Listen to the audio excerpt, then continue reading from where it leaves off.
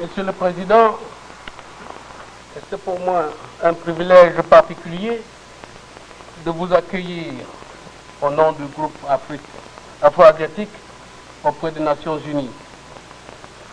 Mon devoir est d'autant plus agréable que la République démocratique du Congo entretient d'excellentes relations avec la République fédérale du Cameroun. La famille afro-asiatique se réjouit et s'honore de votre présence ainsi que de celle des personnalités qui vous accompagnent. Ce faisant, elle salue en vous, Monsieur le Président, l'un des plus grands dirigeants du continent africain à la tête d'un grand pays, la République démocratique du Congo. Oui, Monsieur le Président, l'action que vous avez déjà menée depuis que vous présidez au destiné de votre pays porte l'admiration de tous. Elle est à la mesure de vos grandes qualités d'homme d'État. Qu'il s'agisse de la paix revenue au Congo, du redressement économique et financier, qu'il s'agisse de la restauration de la stabilité politique sans laquelle il n'y a pas d'œuvre durable, les résultats obtenus constituent une source de légitime fierté. Ce sont là, Monsieur le Président, des raisons qui expliqueraient que cette rencontre, dépassant le cadre traditionnel, s'inscrive dans la très longue coopération et la collaboration des gens anciennes qui ont toujours existé entre les nations d'Afrique et d'Asie. Comment, à cet égard, ne pas évoquer la solidarité afro-asiatique dans la défense des intérêts du peuple congolais en particulier? Comment ne pas souligner l'impact sur lequel repose le groupe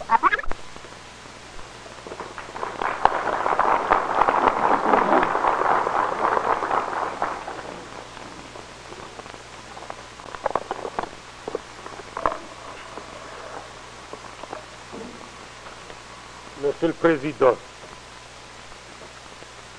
c'est pour moi et pour la délégation qui m'accompagne un grand plaisir que de pouvoir m'adresser à la famille afro-asiatique des Nations Unies. Mon plaisir est d'autant plus grand que je m'adresse à cette famille qui s'est réunie sous la présidence du représentant de mon collègue, frère et ami, son Excellence Amadou Aïdjo. Le souvenir de l'accueil fraternel et chaleureux qu'il nous a réservé lors de notre dernier séjour dans votre pays et le soutien combien estimé qu'il m'a apporté lors de sa dernière venue à Kinshasa sont encore vivants dans mon esprit. Aussi, puis-je profiter de cette occasion pour vous prier de lui transmettre mes sincères et fraternelles salutations. Excellences, Mesdames, Messieurs, l'histoire de mon pays est tellement associée à celle des Nations Unies et particulièrement au groupe afro-asiatique des Nations Unies pour que je ne puisse éprouver une particulière émotion en m'adressant à vous. Cette histoire tragique dans ses débuts vient aujourd'hui de connaître un dénouement heureux qui doit réjouir tous les amis, tous les vrais amis de mon pays. Nombreux sont les pays parmi ceux que vous représentez ici qui ont compris que malgré les faux premiers pas des uns et des autres, les malentendus qui ont pu diviser tous les acteurs du drame congolais, seule la préservation des intérêts du Congo devait constituer notre unique préoccupation. Et cette préservation des intérêts du peuple congolais ne pouvait être assurée dans l'anarchie, l'instabilité politique, l'intrigue. Aujourd'hui, la stabilité politique règne, la sécurité est assurée, l'économie est relancée. Bref, la paix et la tranquillité sont retrouvées, garantissant ainsi la sauvegarde de l'intérêt national. Ces résultats sont dus principalement, certes, à la détermination du peuple congolais de rester lui-même, mais également au concours généreux de la plupart des pays que vous représentez ici. Aux représentants de tous ces pays, je les prie d'être les interprètes de mes sentiments de vive reconnaissance auprès de leurs gouvernements et peuples respectifs. Leurs peuples peuvent être assurés de notre soutien au temps de l'infortune comme ils nous ont assuré du leur au temps de notre malheur.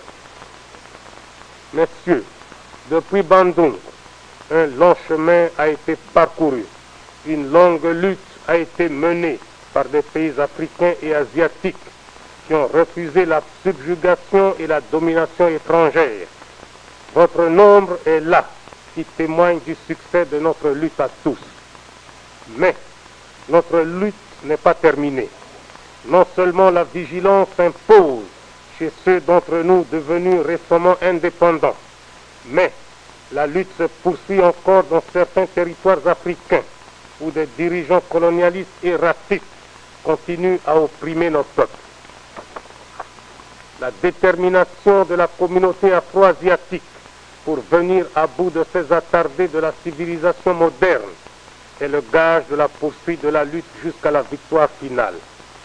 En ce qui me concerne, votre action aux Nations Unies est d'une importance qui n'est point à minimiser. Vous disposez d'une tribune internationale qui vous permet de faire entendre au monde entier l'angoisse, la détresse et la révolte des peuples frères en lutte contre la colonisation et le racisme. Mais à cette action publique doit être associée également une recherche appliquée et méthodique par la diplomatie, si besoin discrète mais efficace, des moyens approfondis pour amener les dirigeants politiques des principaux pays responsables de la paix à partager notre préoccupation, à concourir avec nous dans l'extirpation du colonialisme et du racisme dans le monde. En ce qui nous concerne, nous apportons et continuerons à apporter aux peuples opprimés par le colonialisme toute l'assistance nécessaire par le canal des mouvements de libération dont la légitimité de la lutte a été reconnue par cette organisation. Agissons de concert si nous voulons être suffisamment efficaces. Et en ce 25e anniversaire des Nations Unies, nous ne pouvons nous empêcher de solliciter les grâces du ciel pour que cet instrument de la paix soit plus souvent utilisé et que les principes et objectifs de sa charte inspirent davantage les peuples et les nations. Je vous remercie.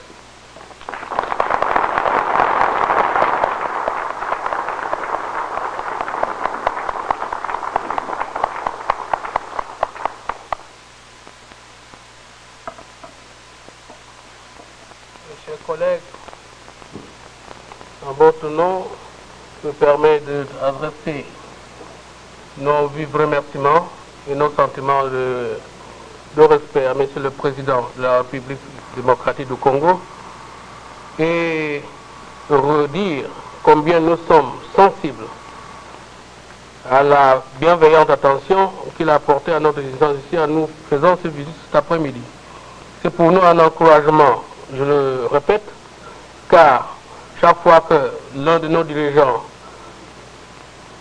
prend contact avec nous, nous puisons en ce visite, en ce genre de visite, un encouragement qui doit nous décider davantage à travailler dans la concorde, à prendre conscience de- des obligations qui sont les nôtres.